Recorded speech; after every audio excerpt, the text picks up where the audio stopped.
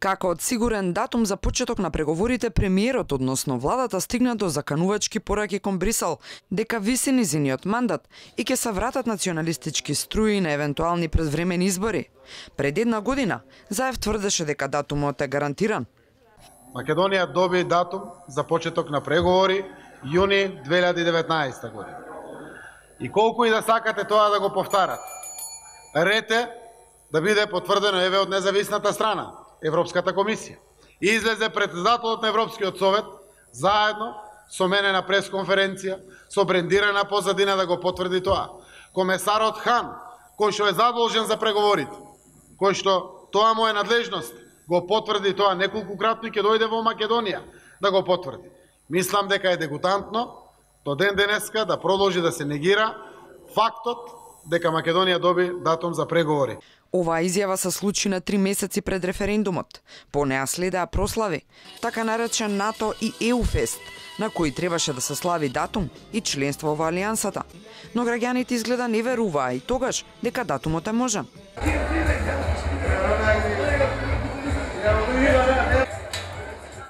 Сигурниот датум беше главен адут на власта и во предреферендумската и во председателската кампања.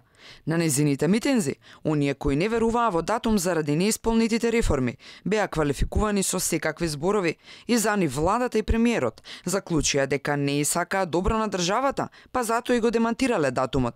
Потоа почнаа да стигнуваат сигналите дека всушност тоа е невозможна мисија без реформи. Заев ревносно порача оти ќе се впушти во офанзива да ги убедува Германија и Франција.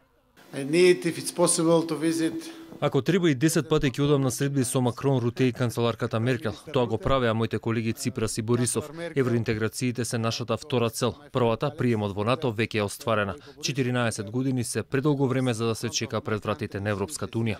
Кога пораките од клучните земји веќе немаше како да се демантираат од владата, Заев упати закани до ЕУ. Или датумот ќе го добиеме, или ќе ми падне владата, па ќе има предвремени избори и ќе се врателе националистичките струи и стагнацијата а требаше да се случи реконструкција.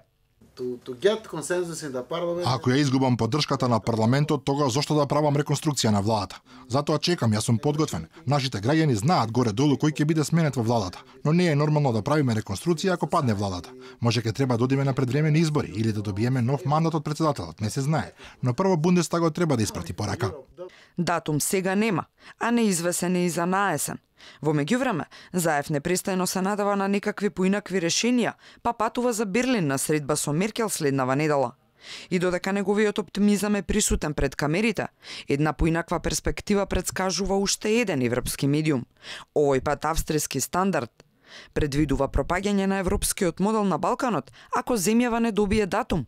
Според авторот на текстот, не за Скопје ќе значи крај на ЕУ проширувањето, а земјава е практично заложник на Албанија.